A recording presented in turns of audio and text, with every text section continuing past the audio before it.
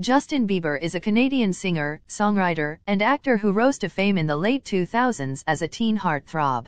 He was born on March 1, 1994, in London, Ontario, Canada, and was raised in Stratford, Ontario. Bieber's musical talent was evident from a young age, and he began posting videos of himself singing on YouTube when he was just 12 years old.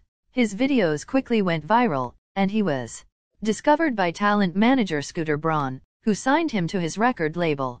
Bieber's debut single, One Time, was released in 2009, and it quickly became a hit. His debut album, My World 2.0, was released in 2010 and featured hit songs such as Baby and Somebody to Love.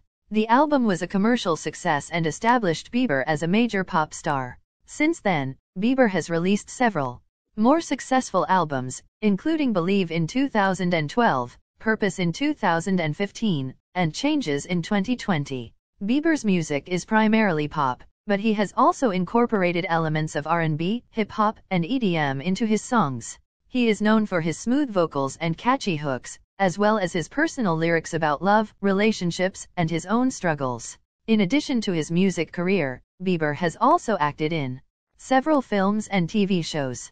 He made his acting debut in 2010 with a guest appearance on the TV show CSI, Crime Scene Investigation, and he has since appeared in films such as Zoolander 2 and Killing Hasselhoff. He also starred in his own documentary film, Justin Bieber, Never Say Never, in 2011.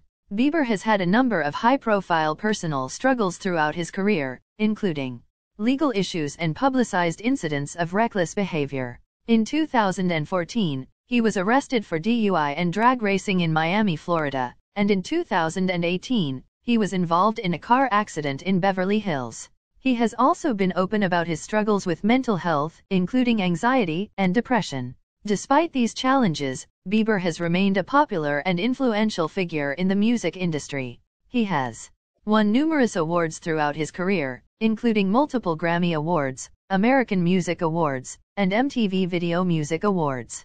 He has also been recognized for his philanthropic efforts, including his support for the Make-A-Wish Foundation and Pencils of Promise, a non-profit organization that builds schools in developing countries.